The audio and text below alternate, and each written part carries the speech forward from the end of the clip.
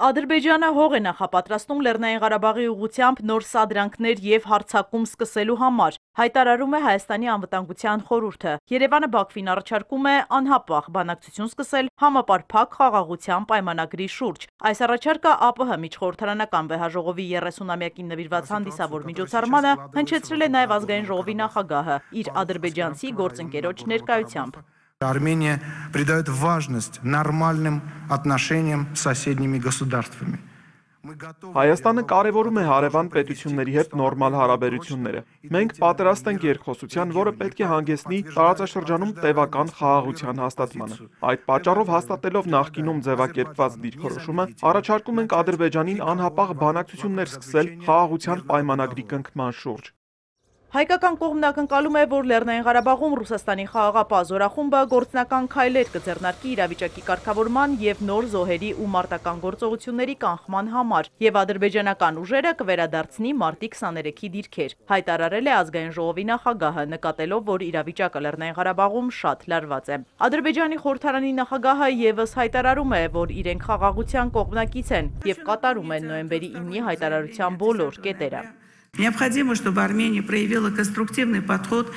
Անհրաժեշտ է, որպիսի Հայաստանը կառուցողական լինի եւ հարաբերությունների կարգավորման գնա, հաշվի առնելով տարածքային ամբողջականության ճանաչումը, միջազգային սահմանների անձեռնմխելիությունը, տնտեսական ու տրանսպորտային կապերի վերականգնումը։ Դա խաղաղության հասնելու միակ իրատեսական ճանապարհն է։ Մեկնաբանելով անվտանգության խորհրդի հայտարարությունը Հայաստան խմբակցության падգամավորը հույս է հայտնում, որ վերջապես իշխանությունը հասկացել է այն, ինչի մասին ընդդիմությունը խոսում է 1.5 տարի։ Իսկ իրենք հայտարարում էին, որ նոեմբերի 9-ի հայտարարության պատերազմը ոչ թե ավարտվել, այլ թեվակողել է մեկ այլ փուլ։ Սա դրանքները որևէ վարքյան չեն վերջացել։ Սկսենք հիշենք դեկտեմբերի կեսերին Խծաբերդի եւ Հինթաղերի վրա արձակումը, այնուհետեւ մայիսին մխրճում Հայաստանի տարածք, նոյեմբերին մխրճում Հայաստանի տարածք, Գորիս Կապան ճանապարհի անհասկանալի հանձնում Ադրբեջանին, ներքին հանդում են հայտնվել վերջ մի քանի օր առաջ։ Խաղաղության պայմանագիրը լուծման ամրագրումն է, իսկ լուծումն ըստ ընդդիմադիր падգամավորի Արցախի անկախության եւ տարածքային ամբողջականության ճանաչումն է։ Ադրբեջանն ասում է Արցախի հարցը ընդհանրապես չի դիտարկում, սահմանազատման եւ սահմանագծման մասին է խոսում, իսկ իմ պատասխանը հստակ է։ Սահմանազատում, սահմանագծում դրանք բոլորը անցանցյալ խնդիրներ են։ Հիմնական խնդիրը դա Արցախի կարգավիճակն է, որպես անկախ հանրապետություն, անկախ հա, հանրապետություն եւ Արցախի տարածքային ամբողջականությունը։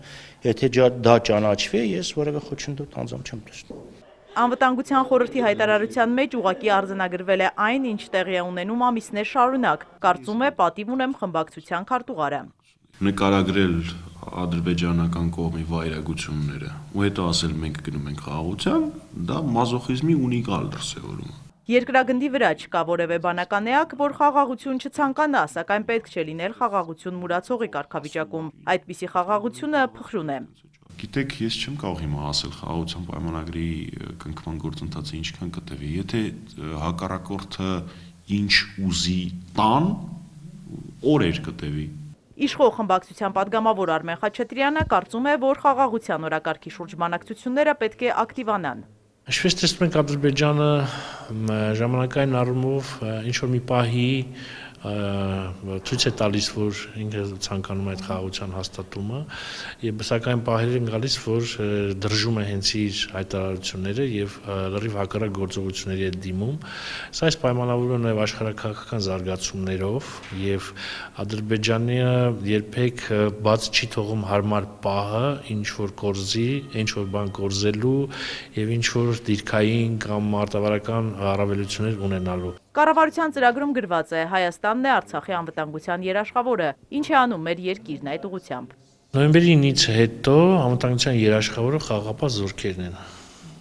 Լեռնային Ղարաբաղի անվտանգության երաշխավորը խաղապահ զորքերն են ըստ համաձայնագրի դա համաձայնագրով ֆիքսված է, բայց գլոբալ առումով իհարկե Հայաստանի Հանրապետությունը Արցախի, Լեռնային Ղարաբաղի ժողովրդի անվտանգության երաշխավորն է, դա միշտ եղել է, կլինի Խաչատրյանը շարունակում է, որևէ կերպ հնարավոր չէ պատկերացնել, որ Հայաստանը գլխավոր երաշխավորի դերը կտա ուրիշի։ Իզաբելա Հովանիսյան, Ալեքսանդր Կիրոյան, Էպիկենտրոն։